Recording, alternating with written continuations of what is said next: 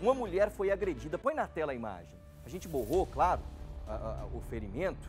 Ela foi agredida e expulsa. Além de apanhar, o cabra ainda ela botou ela para fora de casa. E mais, Mônica Novaes chega agora com a gente aqui.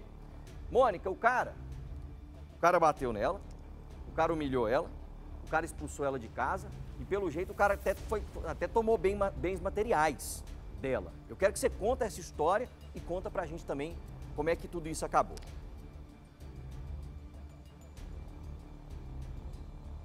Pois é, Branquinho, uma união aí que durou pouco mais de dois anos, assim que ela se cansou né, desse comportamento agressivo, de tantas coisas que o companheiro aprontava, ela pediu divórcio. Mais uma vez, o homem que não aceita parte para uma agressão mais pesada. A gente vê, né? Não dá nem para mostrar aí sem borrar um, um, machucado que foi nessa última agressão, quando foi chamada, acionada é, o chamado Batalhão Maria da Penha.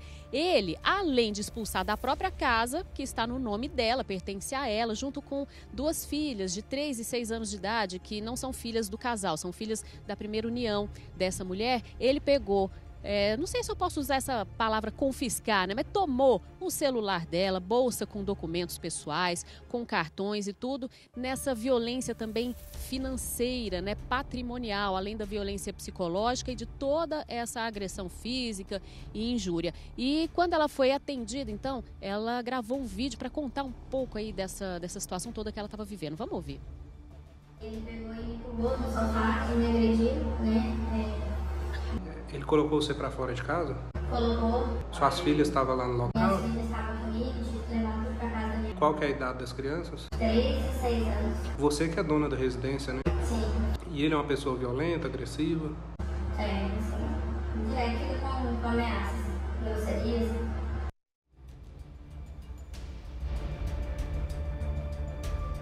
É, vamos usar as palavras certas, né? Ele roubou tudo isso dela, é, fugiu, só que ele só tentou se esconder da polícia e de acertar as contas com a justiça, porque ele já foi encontrado, localizado. Eu converso agora com a Major Marinéia, Batalhão Maria da Penha. Major, como é que foi para chegar até aí? Boa noite a todos. Bom, a ocorrência aconteceu ontem à noite, a viatura diária é, registrou fez diligências para encontrar o autor, não conseguiu. Então, hoje de manhã, o Batalhão Maria da Penha foi acionado, fizemos a, a, as diligências, conversamos com a vítima, né, que sofreu agressão doméstica ontem à noite, teve, como a repórter bem disse, teve seus bens confiscados ali, roubados pelo ex-companheiro, bolsa, celular, carteira, cartão. Ainda foi expulsa da sua própria casa juntamente com duas crianças, um de três e outro de seis anos. Então, através de várias diligências hoje de manhã, o Batalhão Maria da Penha finalmente prendeu o agressor. Qual foi a reação dele, Major? É, ele admite é, que fez tudo isso? Porque geralmente tem aquela negação no começo. Ele sofreu resistência, não queria ser preso, né? Mas ele admitiu que houve a violência e praticou a violência porque ela queria se divorciar dele e ele não aceitava o divórcio. A gente conversando antes de entrar ao vivo, Major, você me falou uma coisa muito interessante. É, ela não chegou a pedir ajuda antes de decidir se divorciar. Isso pode ser um caminho é, interessante e seguro para uma mulher quando ela toma uma decisão dessas? É primeiro ela se, ela buscar essa proteção? Sim, no, a, a, nas primeiras violências, ali, na primeira, ela deve, a mulher deve denunciar, porque se ela ficar calada, cada vez mais a violência vai aumentando né? E, e, com o tempo vai chegar uma hora que ela vai querer divorciar. Quando ela dá o grito que quer o divórcio, infelizmente é nessa hora que acontece os feminicídios, porque o companheiro não vai aceitar.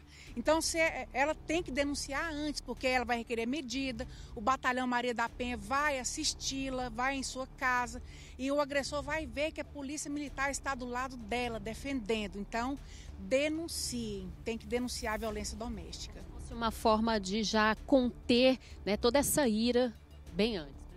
Sim, é, é uma forma preventiva, né? Porque só o fato da polícia militar, da viatura estar na porta da casa da, da mulher agredida que sofreu essa violência, o agressor já vai pensar duas vezes: opa, eu, eu não vou praticar novamente, porque eu sei que se eu praticar eu vou ser preso pela polícia. A polícia está assistindo minha ex-companheira gente conversava também agora, né? A patrulha Maria da Penha começou lá em 2015, há dois anos já tem o batalhão, que é muito mais estruturado para fazer esse atendimento.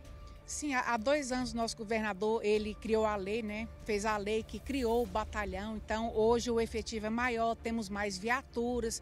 Então as mulheres estão mais assistidas é, na nossa capital e a tendência é crescer mais o efetivo, não só na capital como nas cidades do interior também.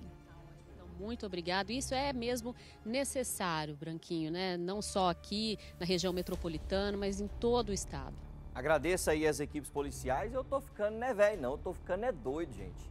É cada história. O cara bateu nela, o cara tomou os documentos, roubou, roubou os documentos, celular, as coisas dela, roubou até o carro, pelo jeito, ficou com o carro dela, colocou ela e as meninas para fora de casa. E eu pensei, ah, às vezes a casa do cara, ele falou, não, não, a casa dela.